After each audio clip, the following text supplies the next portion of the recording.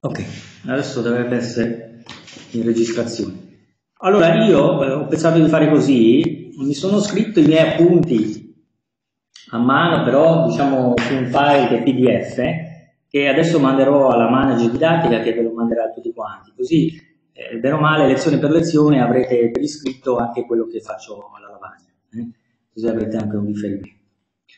E questo ovviamente non è tutto, eh, ci sono ovviamente i libri di testo, in particolare diciamo, il, i libri di riferimento sono il Mincuccini, eh, c'è il, il, Rosati e c'è il eh, Nigro Voci. Il libro voce, attenzione però, non è introduzione a fisica, ma è il libro un po' più grosso che si chiama Fisica, che sono due e voi dovete prendere, guardare il secondo volume. E non è che io abbia una preferenza per un testo oppure l'altro, eh, perché in realtà non, non, è che io seguirò in particolare un testo, eh, però troverete quel che vi racconto, eh, lo troverete in tutti i libri, tanto fisica 2 diciamo, è una materia eh, molto classica e ben consolidata. E, eh. ehm, per quanto riguarda le domande, eh, se avete delle domande da fare, non so il, come vi siete messi d'accordo con il professor Pagliare, se volete farlo a voce, se volete scrivermi, so bene, eh, ditemi voi, ecco, se qualcuno... Allora, no, questo WebRTC. Eh.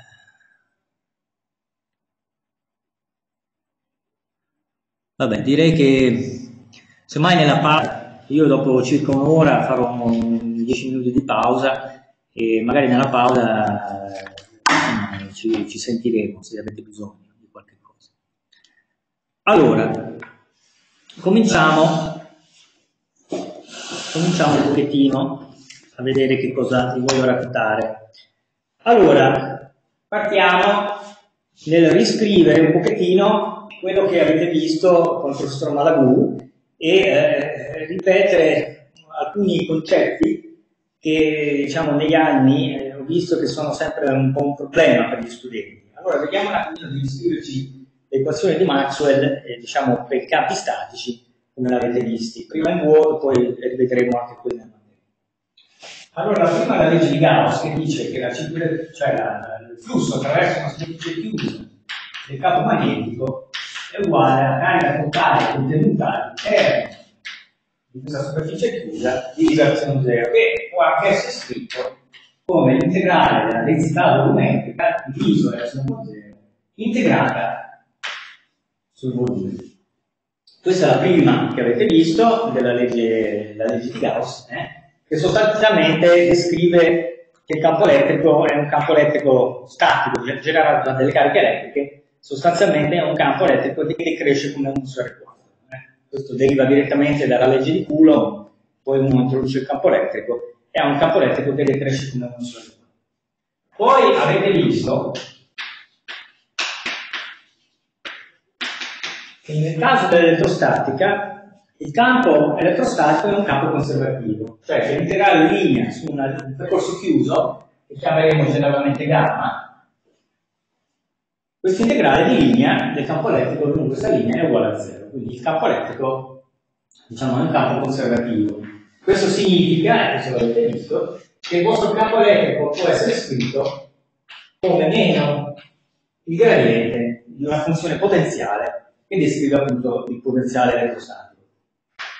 Bene, queste sono le due equazioni che diciamo, descrivono il campo elettrostatico, mentre abbiamo le due equazioni che descrivono il campo magnetico. La prima dice che il campo magnetico integrato su una superficie chiusa è uguale a zero e questo lo sappiamo, diciamo, implica che non esiste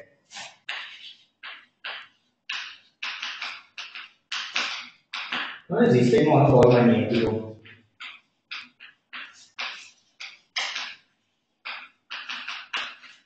Cioè non esiste la carica magnetica isolata, eh? non esiste un oggetto che ha una carica come la carica elettrica, non esiste l'elettrone per esempio che ha una carica negativa pari a un certo valore ed è sorgente del campo elettrostatico. Nel caso del campo magnetico non esistono soggetti del campo magnetico. L'ultima, che avete visto, è la legge di Ampere, dice che la circolazione di B lungo una linea chiusa è uguale a un 0 per uguale a un 0 per il flusso della densità di corrente J attraverso una superficie, che in questo caso è una superficie aperta, e questa superficie aperta ha un suo, una sua superficie che poggia sulla linea gamma. Quindi qui facciamo una circolazione sulla linea gamma e qui abbiamo una qualunque superficie che poggia sulla linea. Eh, queste sono le nostre quattro equazioni. Adesso vediamo un attimino perché c'è sempre, eh, lo vedo spesso agli esami, c'è un po' di confusione tra queste superfici aperte e superfici chiuse. Quindi datemi un attimino, così ne ripassiamo un secondo. Allora, qui la lavagna è piccolina,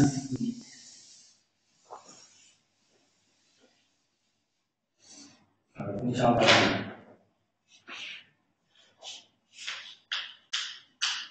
Allora,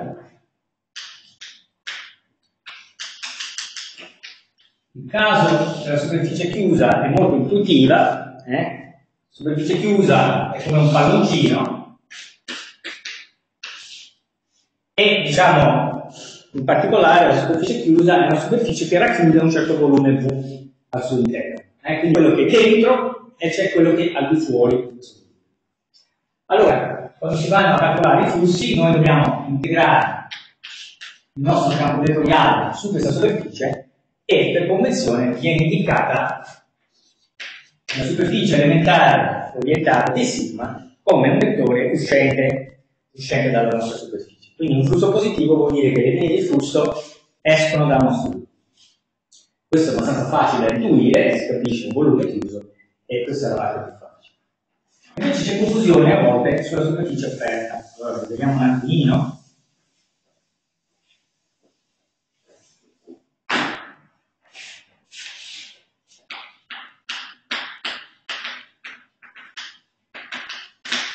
La superficie aperta. Allora, abbiamo visto la legge di Ampere, per esempio. La legge di Ampere ci dice che il, la circolazione del campo magnetico lungo una linea chiusa è legata a un flusso. Quindi da una parte abbiamo integrale linee, dall'altra parte abbiamo integrale su una superficie.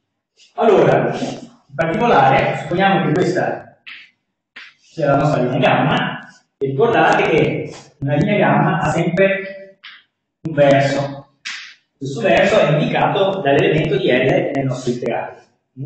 Allora, questa linea gamma, in realtà, diciamo, eh, lo vedremo fra, fra, un attimino, questa linea gamma, quando voi avete, per esempio, la legge di Ampere, non importa qual è il verso che scegliete, purché a un certo punto seguite delle, delle regole, nella, avete la vostra linea gamma è chiusa e dovete scegliere una superficie. Allora, giusto per indicarla, questa può essere una superficie, allora dobbiamo mettere in relazione, e spieghiamoci un attimo la legge di per avere un esempio esplicito. Qui abbiamo la nostra circolazione sulla linea gamma, mentre questa è il, il su una superficie che poggia sulla linea gamma. Allora, qui la linea gamma che scegliamo è una sola, c'è il suo verso indicato dal, dal nostro professore L, vettore di. Dopodiché dobbiamo calcolare il flusso di, di, del nostro, della nostra lezione di problema. Allora, qui ne ho indicata una, e ci sono due questioni da guardare. La prima è qual è l'inverso della superficie del sigma quando andiamo a calcolare il flusso. È chiaro che questa superficie potrebbe essere o uscente o entrante nella lavagna.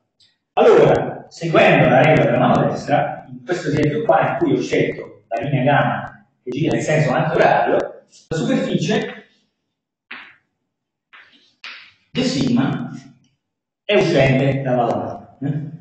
Quindi se abbiamo un vettore J che anch'esso esce dalla lavagna avremo un flusso positivo, se esce J entrante avremo un flusso negativo. Questa è la prima questione. La seconda questione, e questa è un po' più importante, è il fatto che nessuno ci dice quale superficie devo scegliere dice solo scritto che questa superficie debba appoggiare sulla, appoggiare su, sulla linea gamma. Infatti le superfici che uno può scegliere di fatto sono infinite. Eh? Quindi le superfici che poi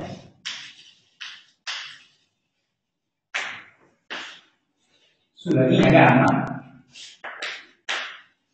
sono infiniti. Eh? Sono infiniti. E questo, diciamo, pone, e vedremo tra un attimo, pone delle condizioni appunto sulla nostra densità di corrente J.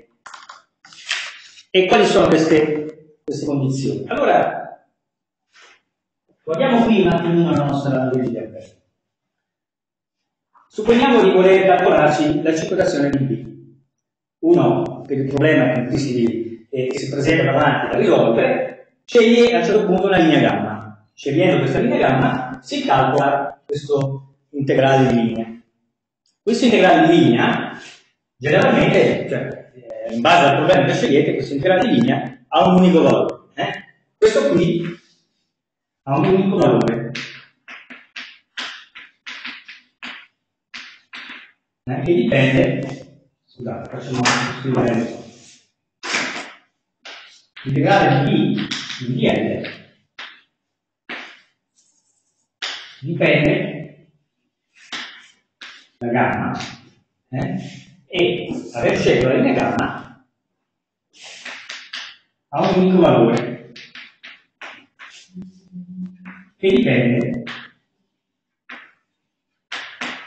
solo da gamma. Dopodiché a destra della nostra legge di Ampere abbiamo una destra di corrente J il cui flusso va calcolato su una qualunque superficie che poggia sulla linea gamma. E qui nasce la questione, perché di superfici che poggiano sulla linea gamma ce ne sono infinite. Ce ne sono infinite. E allora quale devo scegliere? Allora, non è che uno deve sceglierne una, e la realtà è che uno deve porre una condizione sulla decisione corrente. Adesso vediamo un attimo. Allora, supponiamo di avere la nostra linea gamma. Questa è la vostra linea gamma il verso, per esempio, è messo verso questo verso qua, e scegliamo due superfici diverse che poggiano sulla stessa linea. La prima, per esempio, la mettiamo qua su, questa qui, questa la indichiamo come designa 1. Supponiamo di avere una prima superficie che è un pochettino a bolla di sapone che è sopra eh, la nostra linea e scegliamo una seconda che invece qua sotto. Allora, avendo scelto come verso intercorrenza linea gamma, diciamo, diretto in questo, dovete immaginare che questa parte è fuori e questa parte è dietro, questo sulla lavagna, okay. quindi avete la regola della mano destra che indica la direzione della superficie di sigma. Lo stesso discorso vale per questa seconda superficie, quindi avremo anche qui una, indichiamo così, questa è la di sigma 2, che indica una superficie di sigma 2 che va sempre diciamo, verso là. Allora, vedete qual è il punto? Che se vogliamo che questa legge di Ampere, che lega una circolazione con un flusso calcolato attraverso una qualunque superficie, che poggia sulla linea, bisogna che i flussi attraverso la superficie di sigma 1 e la superficie di sigma 2 devono essere uguali.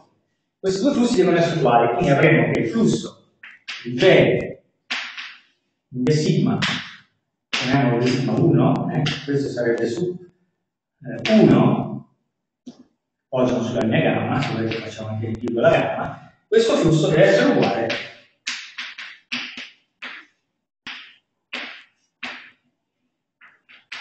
al flusso attraverso la seconda superficie. Altrimenti uno avrebbe un valore a sinistra e qui avrebbe due valori che si usati. Quindi è chiaro che questi due integrali su queste due superfici devono essere lo stesso. Benissimo. Allora facciamo una cosa.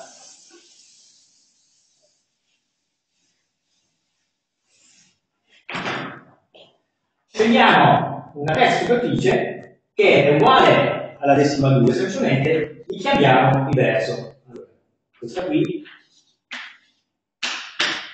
la chiamiamo la decima 2 primo. Semplicemente cambiamo verso alla decima. Quindi chiaramente cambiamo verso la decima 2, questo integrale cambia di segno. Cambiare di segno a questo punto lo posso portare dall'altra parte e risulta che cosa? Che faccio un integrale su 1 è quello che mai per prima, j la del sigma 1 più l'integrale su e chiamiamolo primo, perché abbiamo preso adesso quella ribaltata come adesso, di J scalare di sigma primo 2, questo deve essere uguale a 0. Allora, l'ultimo passaggio è chiaro che se voi mettete insieme la decima 1 e la decima primo 2, questi insieme formano una superficie chiusa. Quindi, la decima 2 primo insieme alla decima 1 formano una superficie chiusa. E questo è tutto. Formando una superficie chiusa abbiamo una condizione che ci dice, adesso avete già visto, lo ripeto, risulta che la legge di Ampere vale solamente se la vostra corrente, la densità di corrente J, integrata su, attraverso una superficie chiusa, abbia un flusso totale uguale a 0. Quindi la vostra densità di corrente deve essere un campo solenoidale. J deve essere solenoidale.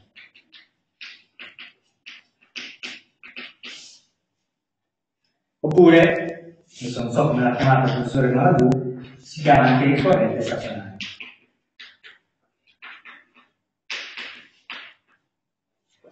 Anche stazionaria. Eh? La corrente stazionaria. Quindi la di Ampere vale solamente nel caso di eh, stazionario. Eh? Allora, questa è la, è la, prima questione che volevo appunto spiegarvi. Vediamo un po' se c'è qualcos'altro da dire. Sì.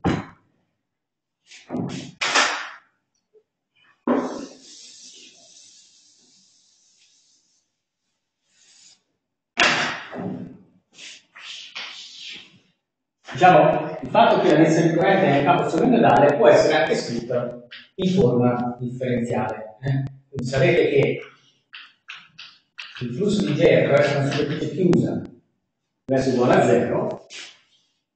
Questo integrale di superficie può essere scritto come l'integrale volume di una divergenza di J.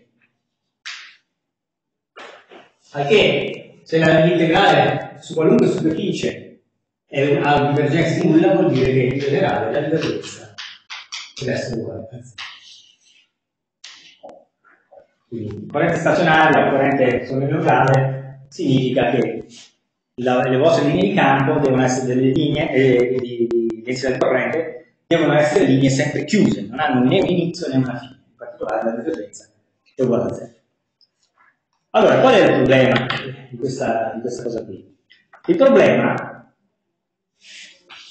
è che questa condizione sulla densità di corrente, che è necessaria per la legge di Ampere, descritte in quattro equazioni di Maxwell sembrano delle equazioni generali, non lo possono essere, c'è qualche cosa che manca. E perché c'è qualche cosa che manca? Beh, avrete visto che questa condizione di stazionarietà della densità di corrente, questa contraddice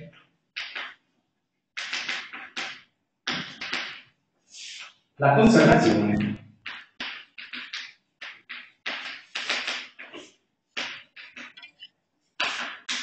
della carica elettrica.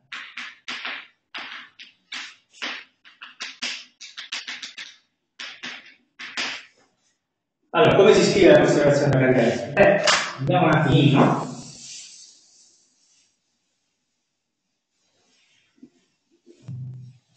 No, scusi, non si legge molto bene destra... Mm, domande? No, in lato destra non si legge molto bene. Ah, non si legge bene? Vediamo se riesco a... Solo se può scrivere un po' più in grande, solo questo, magari può aiutare. Eh, d'accordo. Eh? Grazie. Dunque, aspetta. Dove sono messo qua? Questo qua, Quindi cerco di evitare la parte in alto, perché è sfocata immagino, no? Ok, centralizzare la parte centrale. Allora, vediamo la conservazione della carica. Anzi, cancelliamo tutto così abbiamo più spazio.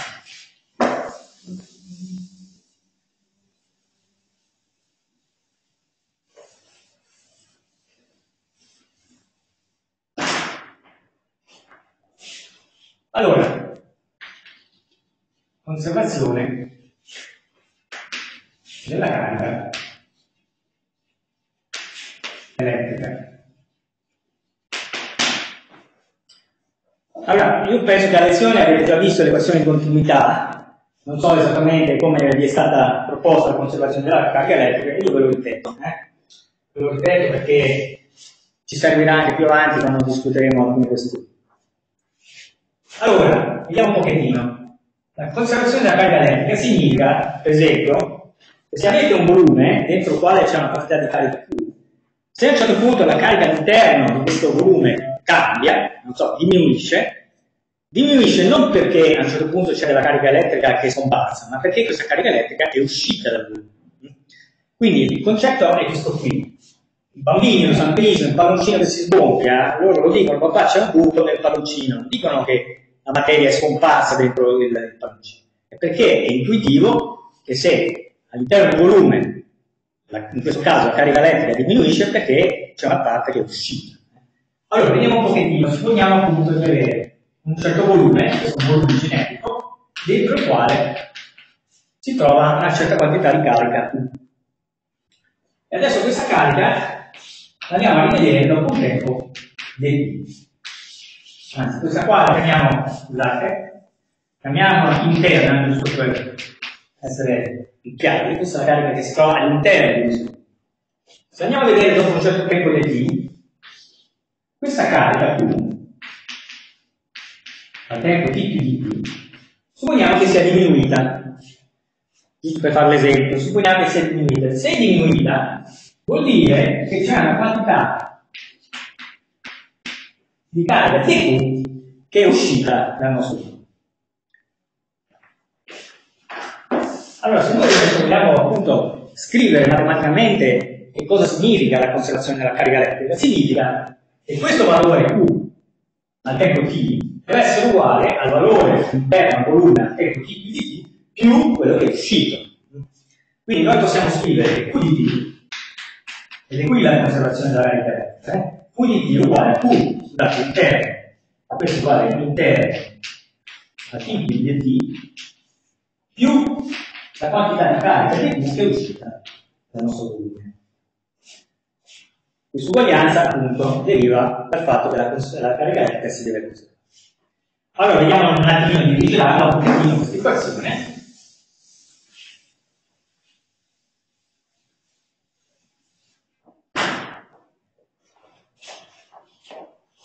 Allora possiamo andare a considerare la, eh, portiamo uno di questi due a sinistra e l'altro a destra e cosa otteniamo? Otteniamo che la carica interna a tempo t più di t meno la carica interna a tempo t sarà uguale a meno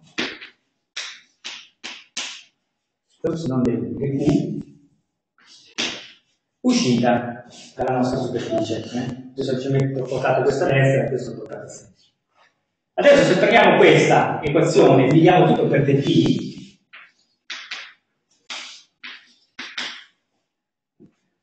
che cosa abbiamo? Beh, a sinistra abbiamo la derivata rispetto al tempo della carica interna al nostro, al nostro gruppo. Mentre a destra abbiamo la quantità di carica, assomiglia alla derivata, ma il concetto rappresenta la quantità di carica che è uscita dal volume per unità di tempo.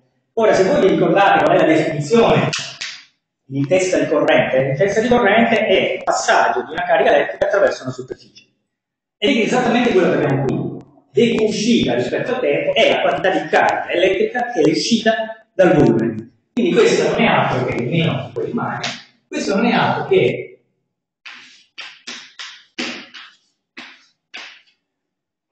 la, la, la corrente totale che sta uscendo dalla nostra superficie chiusa che rappresenta il flusso attraverso la superficie chiusa della resa di corrente.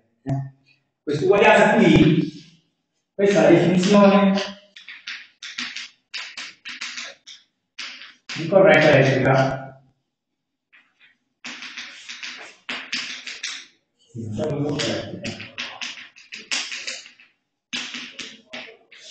In questo passaggio qua, questa uguaglianza qua è proprio la definizione come passaggio di una quantità di carica unità di tempo attraverso una superficie, in questo caso la nostra superficie è una superficie chiusa. Eh?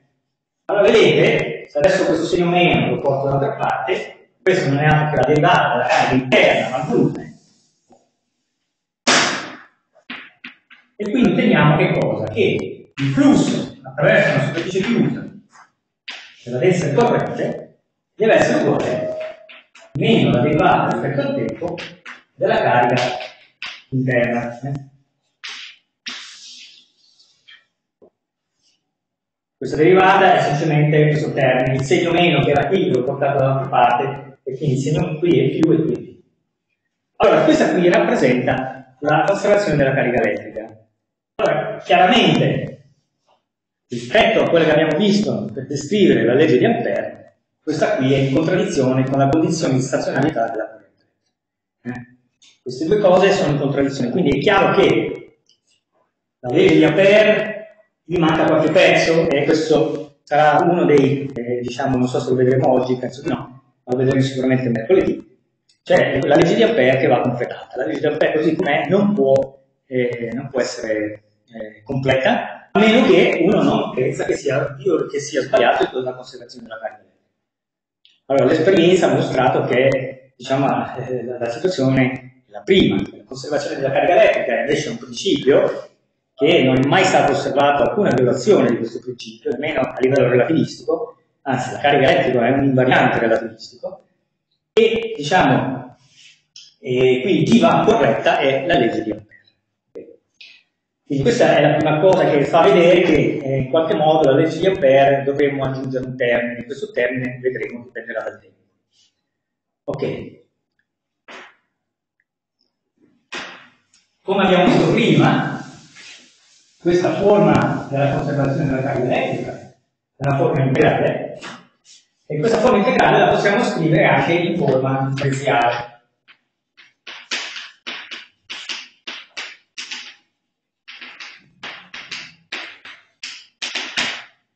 Sempre usando il termine della divergenza, quello che si può dire che un flusso attraverso una superficie chiusa può essere scritto come integrale volume della divergenza quindi questo integrale qui si può scrivere come integrale della convergenza di J su un volume. E a destra qui che cosa abbiamo? Abbiamo meno, che quello che rimane, la carica elettrica può essere scritto anche lui, anche lei, la carica interna del nostro volume, come un integrale eh, sul volume della densità di carica. Allora a questo punto, se voi assumete che la vostra superficie non cambia nel tempo, la superficie è fissa, questa derivata temporale può essere portata all'interno dell'integrale. Eh? Portata all'interno dell'integrale avrete una derivata parziale. Quindi questo, questo termine è questo, adesso non c'è molto spazio, dove posso scrivere, questo lo cancelliamo.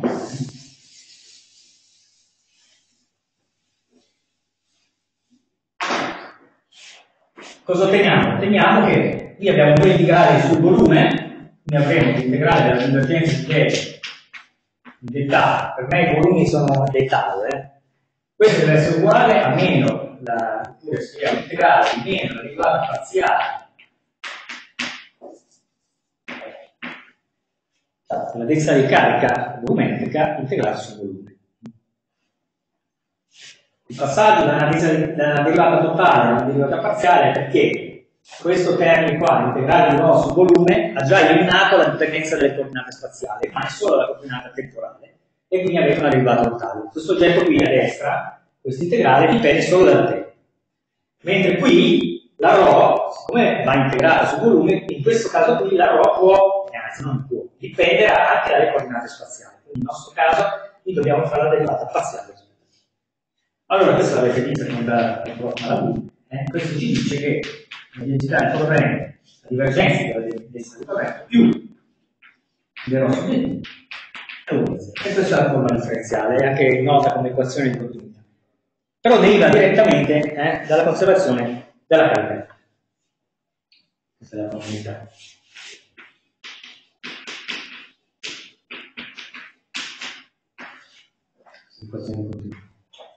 Bene, quindi abbiamo già capito, guardando la legge di Ampere, guardare le condizioni sotto le quali è valida, c'è qualche cosa che non quadra con la conservazione della carica. Bene, cos'altro volevo raccontare. Sì, descriviamo giusto un attimino. Eh? Questo che avevo detto fino adesso eh, mostra che c'è qualche cosa che non quadra nella legge per è stato discusso tutto in vuoto. Dopodiché voi avete visto anche le equazioni della materia, le scriviamo giusto per scriverle. Quindi avete visto che nella materia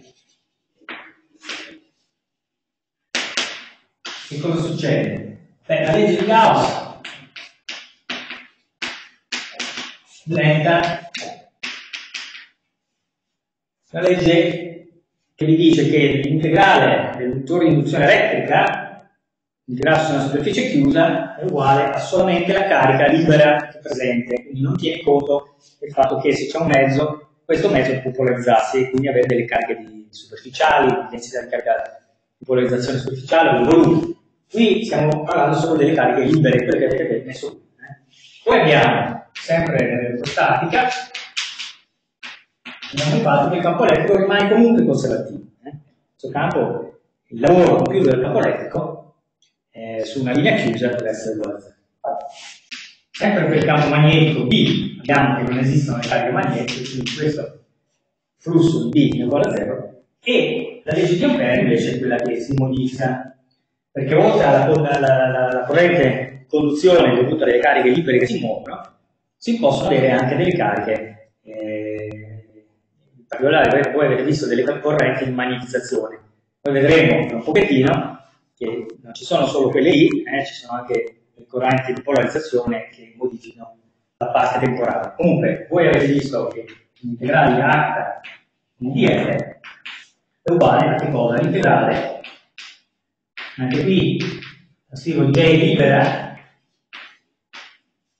questo integrale fatto su una linea gamma e questo su sul gamma e anche la legge di fare, qui la legge della conservatività del campo elettrico è scritto in una linea.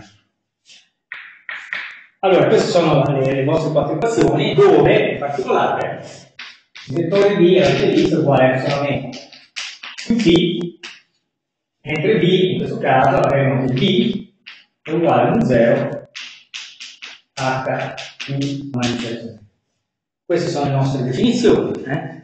eh, con le quali poi eh, ci torneremo tra, tra un pochettino. Lo stesso discorso che abbiamo detto poco fa, la conservazione della carica elettrica riguarda le cariche, le, le correnti libere. Quindi anche qui, nella forma della materia, ci sarà un pezzo che dovremo trovare, se dovremo aggiungere alla legge di Ampere scritta Bene. Allora,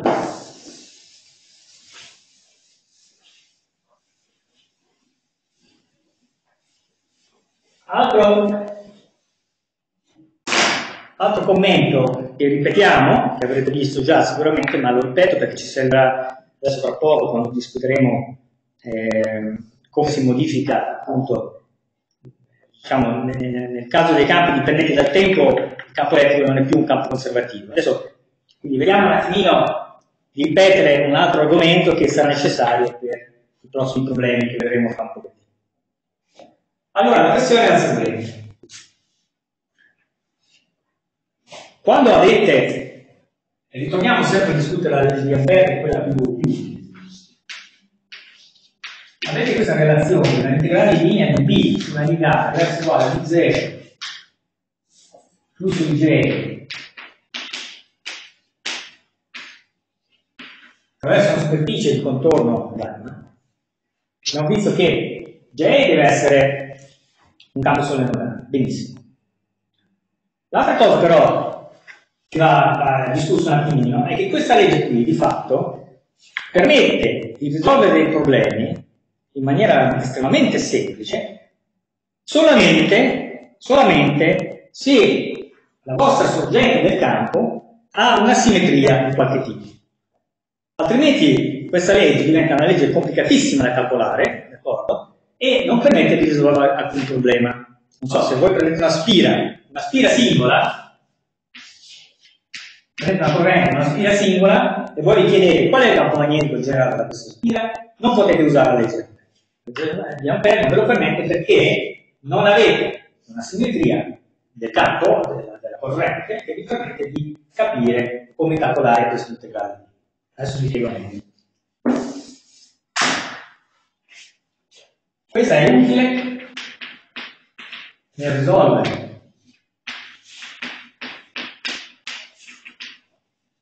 problemi solo. Se la corrente.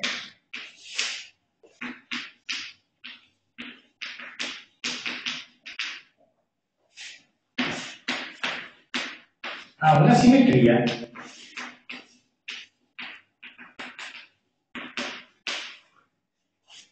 Eh, come la chiamiamo, una simmetria eh, forte. Eh? In particolare, da due punti, le simmetrie generalmente sono tre. Potete avere una corrente planare, la simmetria più piana, avete una corrente a simetria cilindrica, oppure nel caso delle correnti sferiche non si possono avere, però in generale quando applicate la legge di, di Gauss, per esempio, potete avere una simmetria sferica. Allora, quindi per esempio, planare cilindrica. Allora, perché è importante questo? Siccome anche questo all'esame spesso si vede che c'è confusione. Perché è importante questo fatto? È importante perché questo integrale di linea, per poterlo calcolare in maniera semplice, avendo scelto una certa linea gamma, che quella siete liberi di scegliere come volete voi, una volta scelta questa linea gamma, per poter calcolare questo integrale, Vedete, qui c'è un prodotto scalare, V scala DL, e quindi bisogna conoscere già qual è la direzione di V rispetto a DL. Cioè, in particolare, uno deve conoscere già qual è la struttura geometrica delle linee del campo magnetico, altrimenti la legge di Ampere non si può utilizzare. Allora, vediamo subito l'esempio più semplice che c'è, però da capire.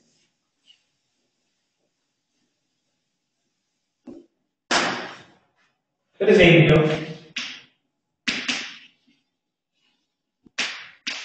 voi avete il filo infinito e forse la corrente infinita.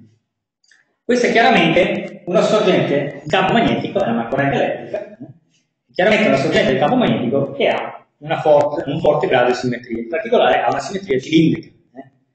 Allora, siccome la sorgente ha una simmetria cilindrica, anche il campo dovrebbe avere la stessa simmetria, cioè potete qui avere una simmetria cilindrica e qui avere una simmetria planare. Le due cose si sono legate tramite questa equazione, la struttura di questa corrente eh, si deve rispecchiare anche nella struttura del campo. Allora, per esempio, uno parte da un problema, dice, beh, benissimo, questo è un problema che ha un grosso grado di, di, di simmetria, in particolare ha una simmetria cilindrica. Bene, allora, come faccio a capire a priori come è fatta la struttura del campo? Beh, di linee di campi vettoriali che hanno una simmetria cilindrica non ce ne sono tante.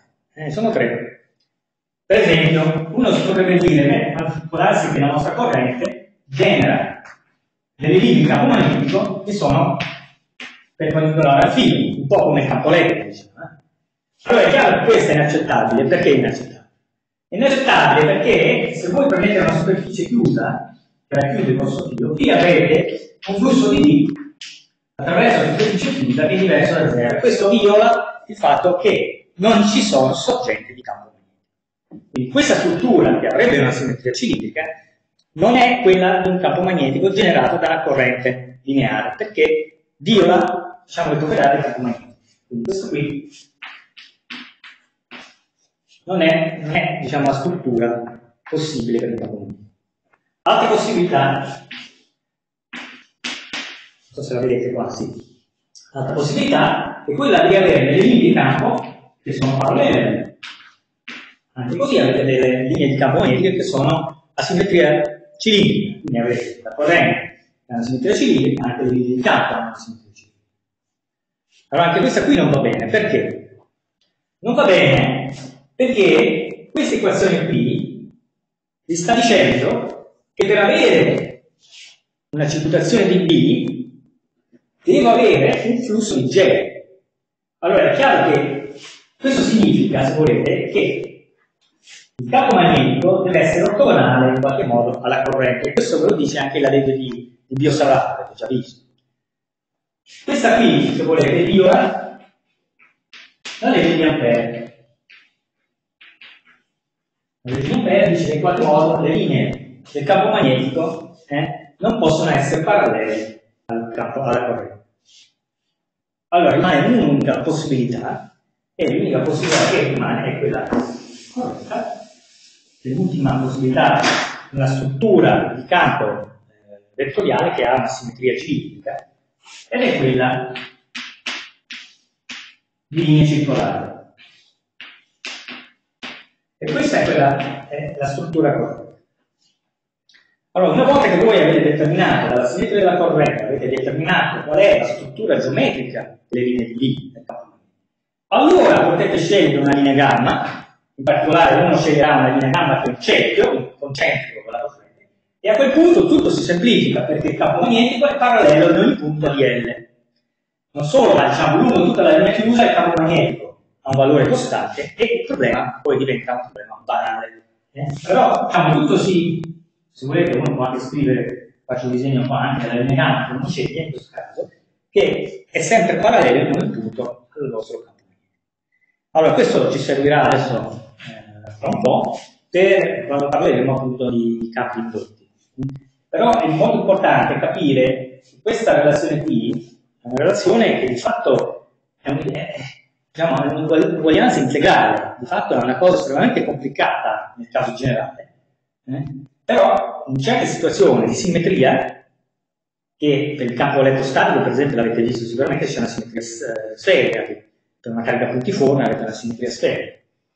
Qui diciamo, possiamo avere delle simmetrie o planari o cilindriche. Se avete una, una, una, struttura di corrente diversa da questa, il problema diventa di solito insormontabile e bisogna ripartire a quel punto dagli integrali, no? legge di Biot-Savart nel caso del campo magnetico, oppure l'integrale del, oppure uno scalcola il potenziale dei derivati, oppure fa l'integrale della densità di carne. Però, ripeto, questo discorso vale anche per la legge di Gauss e anche per eh, quello che adesso vedremo per i campi indotti. Avete la simmetria della vostra sorgente, le linee di campo devono avere la stessa simmetria. Non solo, però poi le strutture che scegliete qui del campo non devono contraddire le altre equazioni che, che ci sono per il campo elettromagnetico. Eh? Va bene. Ok. Quindi abbiamo detto alcune cose abbastanza generali.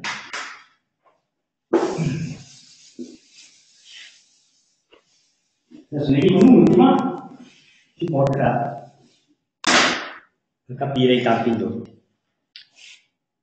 Allora, l'ultima cosa che volevo dire prima di, eh, appunto, di discutere i campi indotti, ma è tutto legato una cosa dopo l'altra, è il fatto che Nell'elettrostatica il fatto di avere un campo conservativo permette di introdurre potenziale elettrostatico, potenziale elettrostatico, cioè il campo elettrico si può scrivere come meno in rete di un potenziale scalare φ. Cosa significa questo? Significa, se prendiamo in pratica, per esempio, un caso chilo, supponiamo che questo chilo abbia una certa lunghezza L, e supponiamo di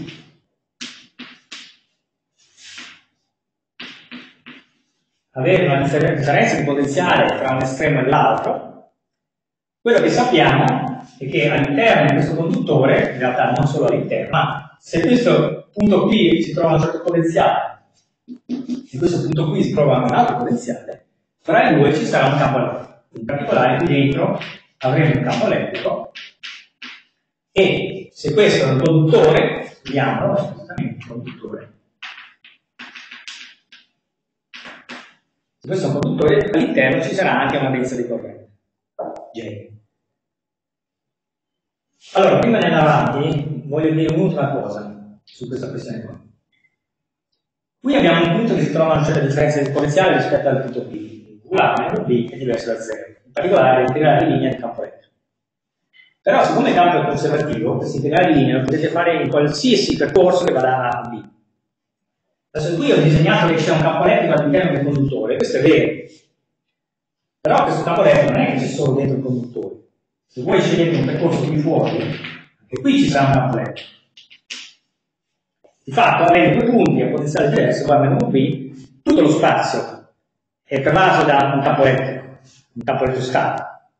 Dopodiché il fatto di avere un conduttore, quel campo elettrico che esisteva già prima, genera una densità di corrente J tramite la legge di Ohm. Vedete che E uguale a rho di J, dove attenzione che questa rho non è la densità di carica, ma è la resistività. Non confondete, questa è resistività.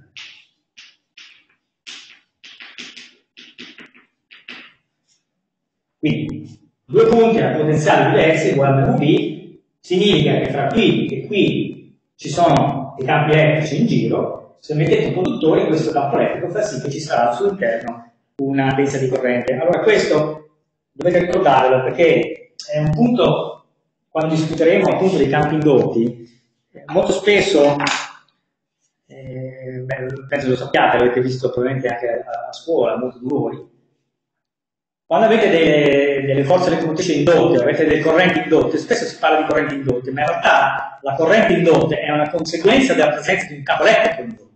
Cioè, qui la causa della corrente è il campo elettrico, il campo elettrico c'era già, indipendentemente che ci sia o no questo punto. Se voi avete due punti che si trovano in potenziale diverso, tra A e B c'è un campo elettrico. Mettendo un conduttore può fare la corrente. Allora, scriviamoci appunto questo integrale di linea. L'integrale tra A e B del campo elettrico, che sarà uguale a 1B se sostituiamo la legge di Ohm invece del campo elettrico mettiamo ρ J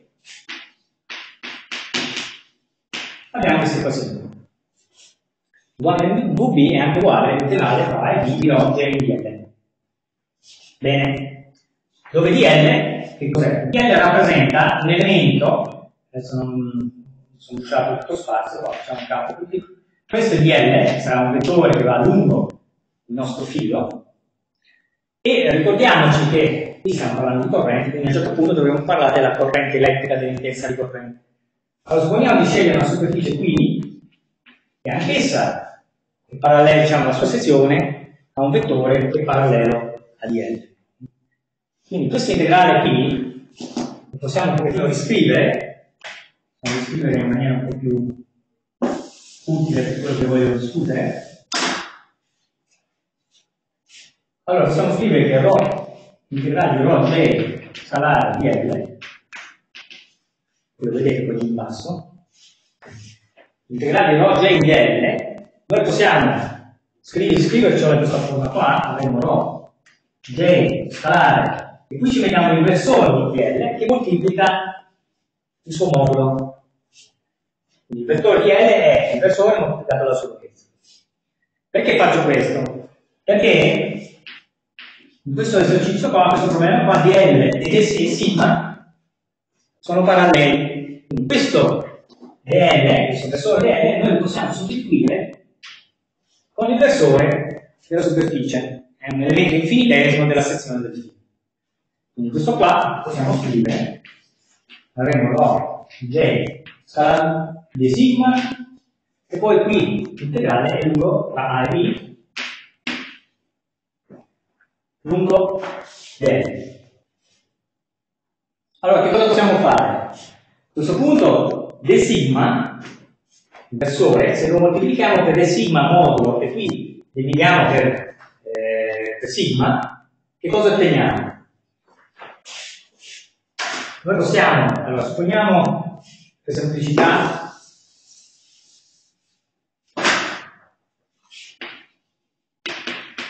sia J uniforme, eh, giusto per semplificare.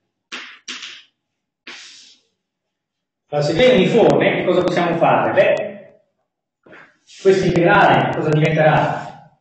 Avremo l'integrale tra A e B e No, non è questo che volevo fare. Allora, invece di sigma, questo versore qua, scusate, togliete il differenziale, è semplicemente sì. Questo è sì. Sì. Scusate.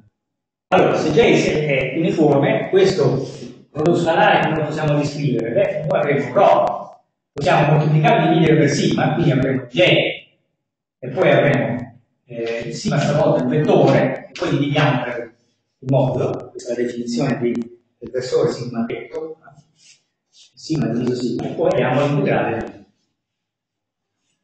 Questo è un prodotto scalare, scusate. Allora qui dovreste riconoscere immediatamente che questo termine qua è l'intensità di corrente. Questa qui non è altro che ρ per i diviso sigma integrato in termine tra A e B. E questa è la nostra differenza di potenziale qua.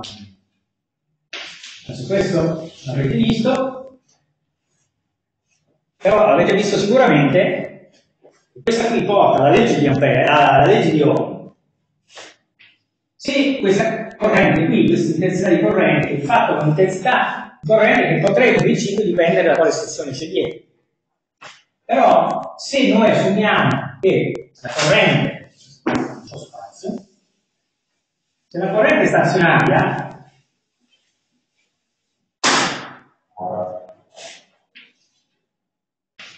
che significa che il flusso di J attraverso una superficie chiusa è uguale a zero, vuol dire che per qualunque sezione che voi scegliate nel vostro filo, questa corrente sarà sempre la stessa, quindi questa corrente la possiamo portare fuori.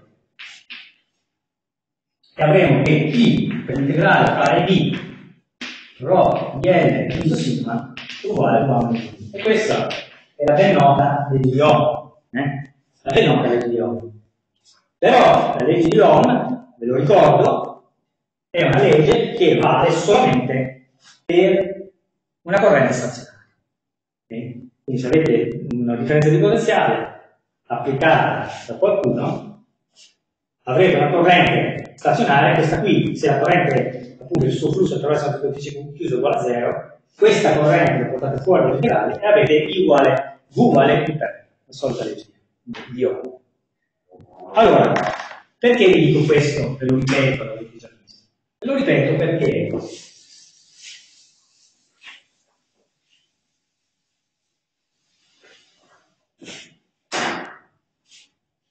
supponiamo adesso di avere non un tratto di filo, ma supponiamo di avere adesso un percorso chiuso. Se abbiamo un percorso chiuso,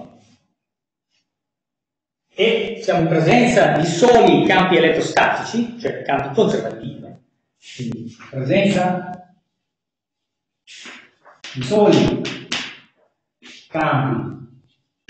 E conservativi, che cosa succede?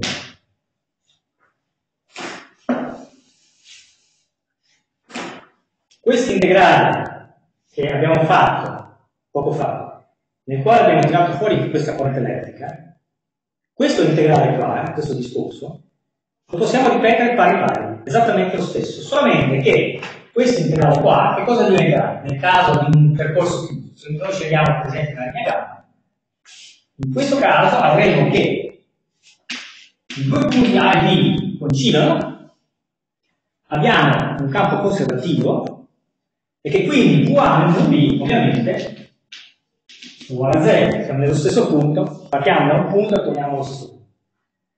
E questo qui, se voi fate esattamente il passaggio che abbiamo visto un secondo fa, ci dice che questo qui deve essere uguale a pi volte ρ di L su sigma, che questo è il nostro integrale, moltiplicato per la corrente, che se assumiamo la corrente stazionaria, questa corrente è al di fuori dell'integrale.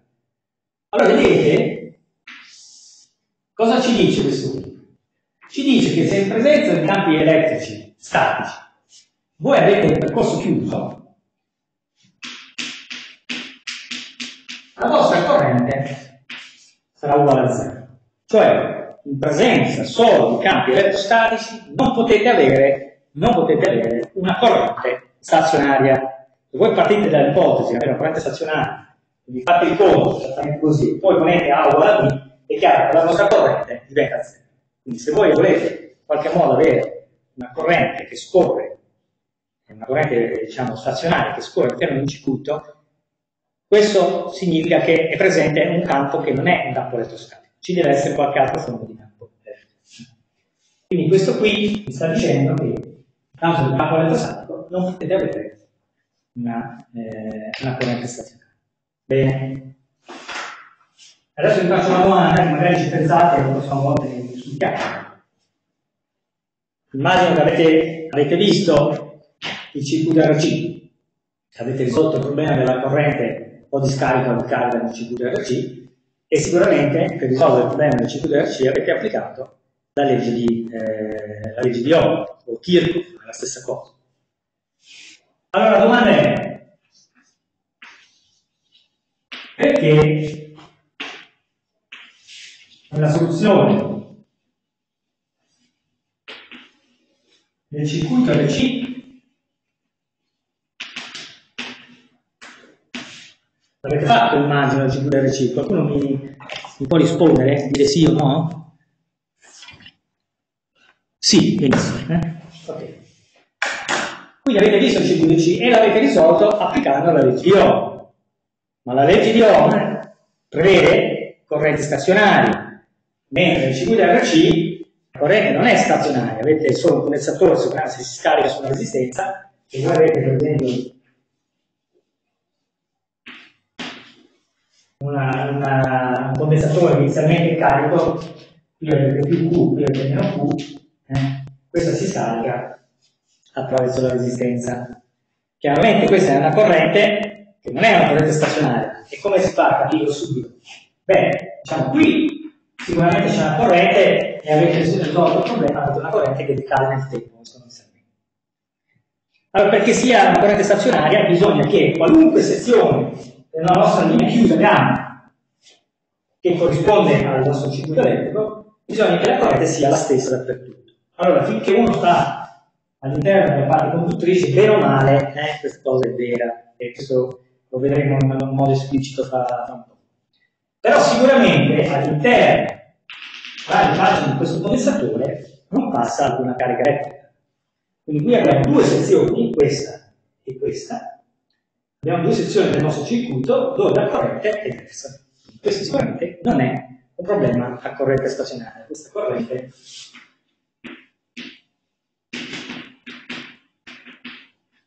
non stazionaria.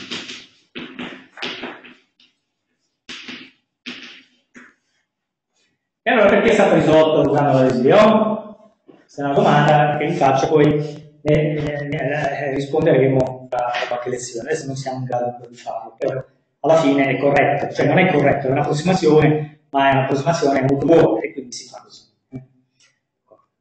Quindi, però, torniamo al suo problema. Se vogliamo una corrente stazionaria, il campo elettrostatico non basta.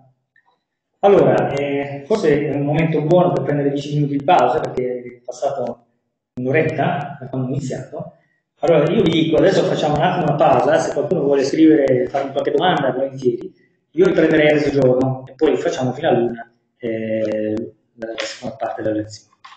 Quindi adesso io faccio mezzogiorno meno 10 e ci vediamo tra mezzogiorno. Se qualcuno di voi ha delle domande da fare, volentieri rispondo.